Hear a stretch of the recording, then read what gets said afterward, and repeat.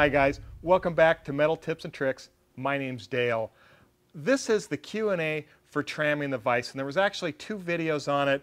One talked about tramming it so it's square to the machine. The other one was what if you needed to set your vise at an angle. And there's some really great questions that came into the comment section of my YouTube channel that I want to address.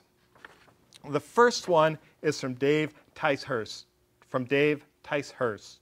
I hope I'm pronouncing that right, Dave.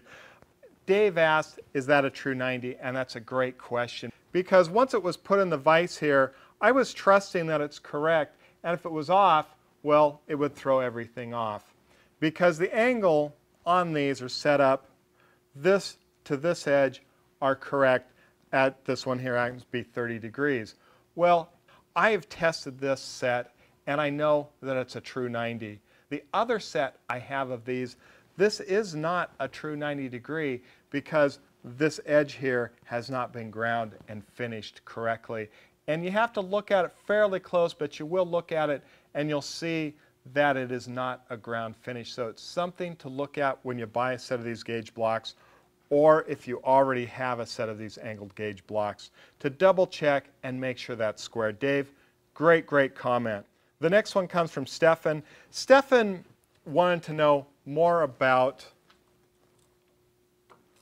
this bracket and how it all mounts up there. It's really a great question, and I apologize that I don't always go into in-depth of everything that I work with on the machine because, well, the videos could be very, very, very, very long. So I try to take shortcuts.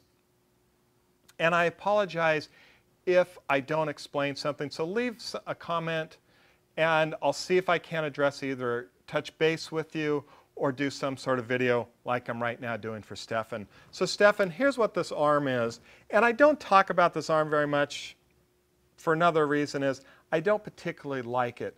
The concept of this arm is excellent. The execution of it is poor. What does make it excellent is I can easily clamp it on to the quill and not have to remove a cutter that I have in there. And if it's a large fly cutter, I may have to or something, but the concept is I don't have to remove the cutter to come in here and set it. A couple other things I really like about it is it has three actuation joints, so I can pretty much move my test indicator in multiple directions. The shortcoming to it is this top one is a round bar, so I can create odd angles and cause me a problem with yaw and not allow my test indicator to line up correctly. The reason they did that is so you could elevate this up and down, but to be honest, I would rather just have another straight bar here and someday I will correct it. And that bar will keep everything in alignment because I don't want it to be, you know, cock cockeyed off to the side like that. Another viewer talked about or wanted to know more about the Mitutoyo test indicator. And Mitutoyo makes one, Brown and Sharp makes one, everybody kind of makes one.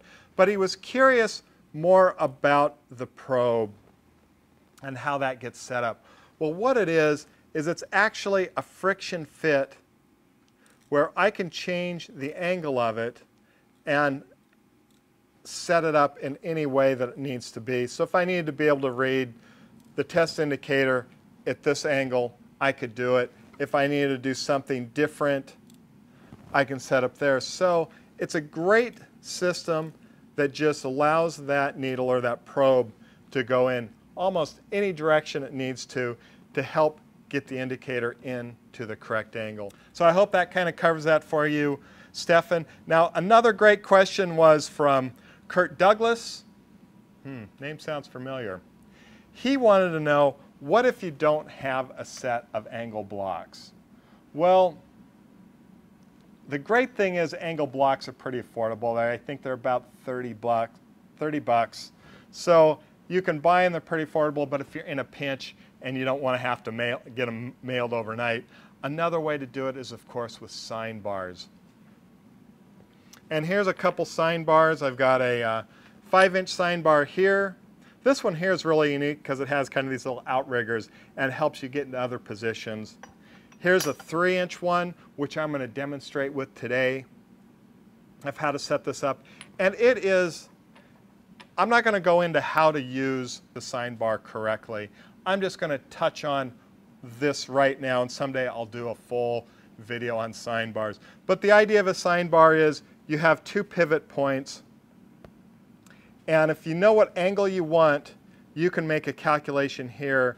And it's a very easy calculation. Of course, you just go to your phone, you type in sine bar calculator, and well, something will come up and you'll be able to just punch in, I need 30 degrees, I got a three inch sine bar, and a particular number will come out.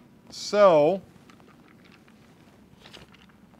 I'm going to just demonstrate for you what I've done here. So I'm going to set this vise to about 32 degrees. Now, outside screwball asked a question about, well, last time I set up to 30 degrees, he says, well, if you make a cut, is it 30 degrees? Is it 60 degrees? And the answer is, it's confusing. The answer is yes and no. It matters how you put the part in there and what you want to do.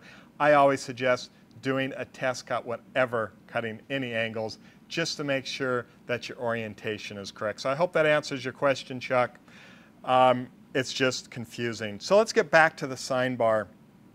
So I'm going to do 32 degrees, which the measurement for that is 1.589. Okay, so I set up a couple blocks here. These are not gauge blocks, they are spacer blocks. And they work very similar to gauge blocks. You can go to Shars, get a set of these for about 45 bucks. Great investment. A little screw inside that you can set up so these will attach and hold together. A lot nicer sometimes than using gauge blocks. And the other thing is, the difference really between this and gauge blocks is their accuracy.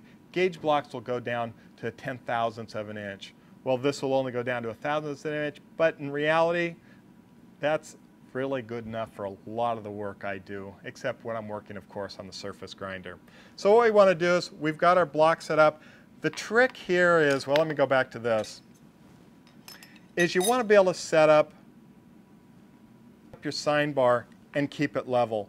Well, you can come in with parallels, and the challenge is, well, they're a little shaky and they're going to fall. Another great way to do it is you just go in with a one, two, three block. In a second here, it's going to be obvious why you want to go in with a one, two, three block. For one thing, you get stability, all right?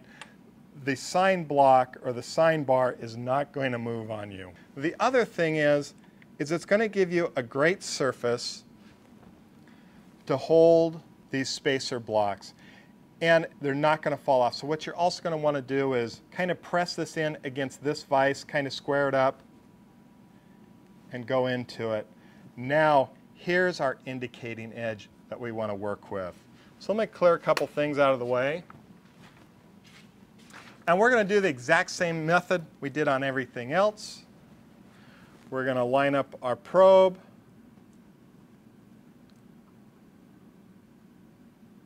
And I'm going to keep it vertical just because why not? It, I can make it horizontal, I can make it vertical. It's whatever I need to make it read, but I'm setting it up here for you guys so you can see it a little easier. Next, I'm going to go, I know I need to be around 32 degrees, so I'm going to come into here, set this just shy of 32 degrees. So now I know if I need, when I run this across the indicator, I know what side to tap on, and it makes it a lot easier. So we're going to come in here, we're going to set this up. Now another thing that makes this gauge different than a dial indicator is this needle can only clock a little over one revolution. So I'm only clock it to about halfway of its capacity. And I'm going to turn the handle. Look, Mom, no power feed. And I'm going to literally tap on this. Um, wow, that's pretty good. And I'll just keep tapping on it. I'm going to overdo it so you can see the needle move. The goal is to get the needle to stop moving.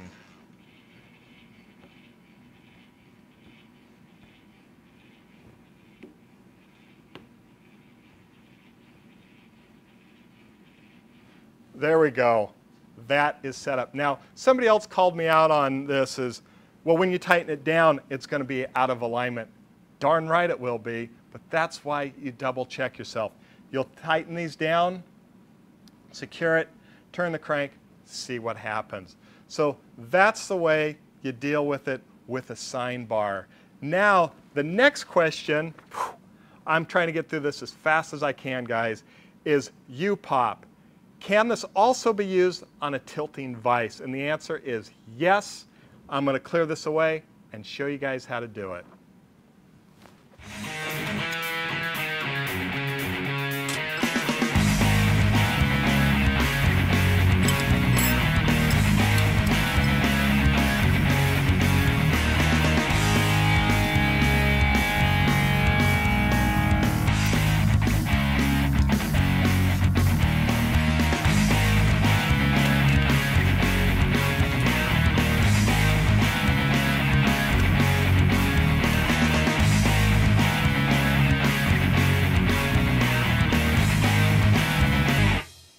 There you go. That is how you tram in a vise at an angle. Now, I will admit this vise is not a milling machine vise. I don't have a milling machine vise that I can tilt, but I just wanted to show you what is possible. But the idea is there of moving the whole table and just keep bumping it until the needle on the indicator stops moving. All right, guys, Give me some thumbs up if you like this video.